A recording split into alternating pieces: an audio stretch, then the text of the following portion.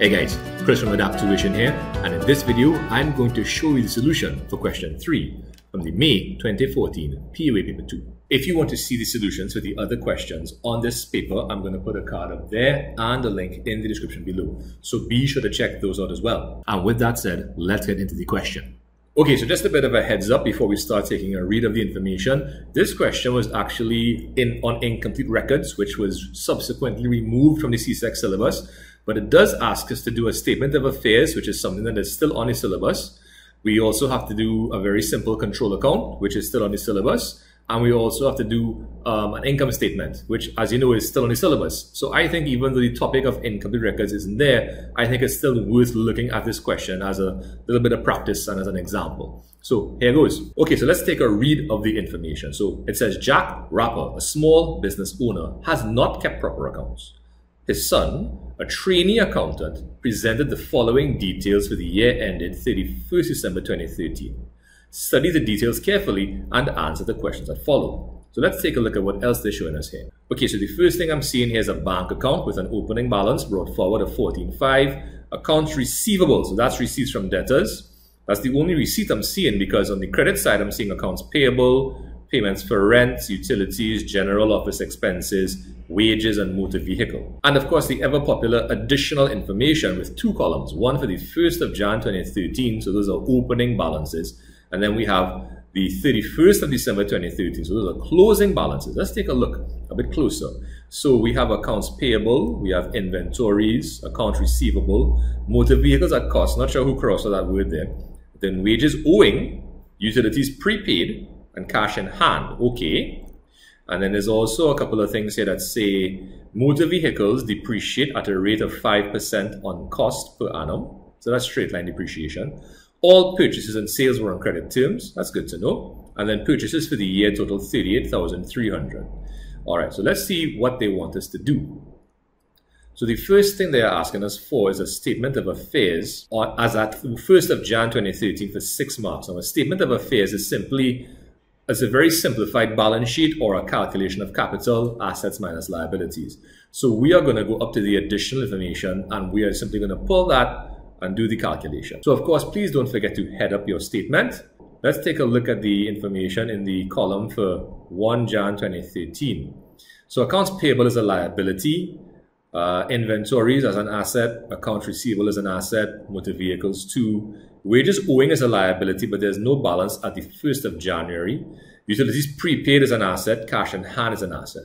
There's one other asset that's not listed here, and this was a trick they like to pull uh, in questions that dealt with incomplete records. So what they did is that they put a bunch of additional information, a bunch of balances down here, and a bit above in the bank account, they put on the debit side the balance brought forward, 14.5. And that is the balance at the start of the year. So that was a trick that they like to pull in almost every incomplete records question. And I think it, it just kind of went to emphasize that they wanted you to pay careful attention to the information and to look for what you, what you needed and to look thoroughly through the question, which is a good skill to be thorough. Okay, so what I'm going to do, I'm going to start populating my statement of affairs. There, so there's no particular order in which you have to list these items. Uh, I went in order of liquidity just off of a whim in this question, but you can also go in order of permanence as if you were doing a regular, a regular balance sheet. And as you know, there's no one right way to do a balance sheet. So I started with cash in hand of 760, and then I also put in the bank balance of 14,500. So let's see how those two things look across here in the statement of affairs. So we have assets, cash, bank. Next, I went with the utilities prepaid and then I would have probably put the account receivable of 10,002 as well as the inventory. So let's populate that information inside of here as well. These are prepaid, account receivable, inventories, and of course, don't forget the last item we had to put would be the motor vehicle. That's the only non-current asset and hence the least liquid or most permanent asset as well. And of course, we'll have a subtotal there, total assets $60,005. Okay, now let's take a look at the liabilities. So let's head up liabilities here. And there's there was one liability, which was the accounts payable, 6400 because remember, wages owing is a liability, but there's no opening balance, no balance at Jan 1st, 2013. So we're going to populate that there. And when we subtract, we're going to get 53,605. And that is actually the item that we want to show uh, as the last item in your statement of affairs. Okay, let's take a look at the next part of the question. Alrighty, so it says using an account determine sales for the year. And it's only four marks, so this is a very stripped down version of a control account. Let's take a look at the information. Okay, so we have opening and closing balances for accounts receivable. Now remember, it, the question did say that all sales were on credit. So we're going to use the sales ledger or debtors control account. So we're going to put in the account, the opening balance and the closing balance. So let's put those across here, shall we? So the opening balance will go on the debit side. The closing balance, of course, would be brought down on the debit side, but prior to being brought down on the debit side, it has to be carried down from the credit side. Now, the other only other thing that they gave us across here that was dealing with accounts receivable was the receipts from debtors, which, as we know, or hopefully you should know, would go on the credit side of the T account. Right? Primarily because, as you can see, it's on the debit side here, and every debit needs a corresponding credit. Right? And now all we have to do to find actual credit sales would be to balance off the account. So we're going to add up everything on the credit side. We're going to get 77.6 and we're going to minus the 10,002 and that's going to give us a balance of 67.4. And of course, now we're going to show a balance on that side of 77.6 which matches with the credit side. So our credit sales or sales figure is 67,400. Okay, let's deal with the income statement. Please don't forget to head up your income statement, name of the entity, name of the statement, the period to which it applies. So we just calculated sales across, well, in the previous part of the question we are going to also do cost of sales. So we're going to start, of course, as you know, with your opening stock of 89.45. Then we had purchases. The question tells us that purchases for the year total 38,003. So we're going to put that there. There were no returns out or returns in, for that matter of fact, no carriage in. So we're just going to add opening stock and purchases and get the cost of goods available for sale.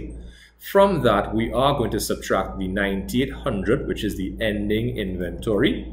And that's going to give us our cost of good or cost of sales or cost of goods sold of 37,445, which when we subtract from our sales figure is going to give us our gross profit of 29,955.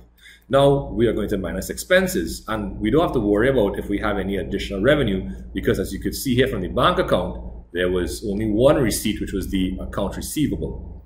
Now, in the expenses section, all we really have to do is take a look at the items inside of here.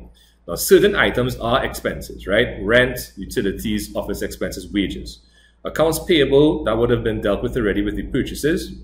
Motor vehicle was spending on the actual buying a next motor vehicle. That's going to impact depreciation. And we're also going to have to check our additional information for any accrued or prepaid portions for these items here. So let's take a look there. So what was the first item I put across here? I have rent of 6,000, which was just taken straight from here, 6,000. Right, the next item is utilities of 9,100. But don't forget, we had an opening prepayment of 600. So what that means is that this 600 was paid in the previous period, but applies to now. So I know you might be saying, well, Hayward, I know we have to subtract prepayments, but those are prepaid balances at end. A prepaid balance at start has to be added right? So normally I do a T account, but I felt like being a bit more streamlined and not having to do up a whole separate T account, so I just added it here. Okay, next, after utility, we have general office expenses. I'm not seeing anything in the additional information regarding general office expenses, so we plug that figure in wholesale. Next, I'm seeing wages. So wages is 8,600. Now we have wages owing, and that's going to be added because we know accruals at end are added because they represent amounts incurred but not paid and the income statement, we have to recall what was incurred regardless of how much was paid. And the last item we have to take into consideration is the depreciation. So I'm seeing motor vehicles depreciate at a rate of 5% per annum on cost.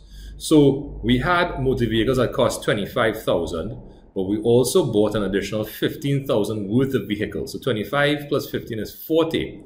So we are simply going to find 5% of 40,000, which is 2,000. We're going to add up all the expenses to get 31,750, which means we actually have a loss, a net loss of 1795 for Jack Rapper.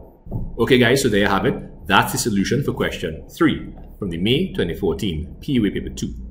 If you have any questions to ask, please leave them in the comment section below and I'll be sure to get back to you when I can. If you want to check out any more videos, I'm going to put some cards up here. Don't forget to subscribe and be sure to check out my website for some free POA handles that you might find useful. Anyhow guys, as per usual, thank you again for watching. Take care of yourselves and I'll see you next time. Bye.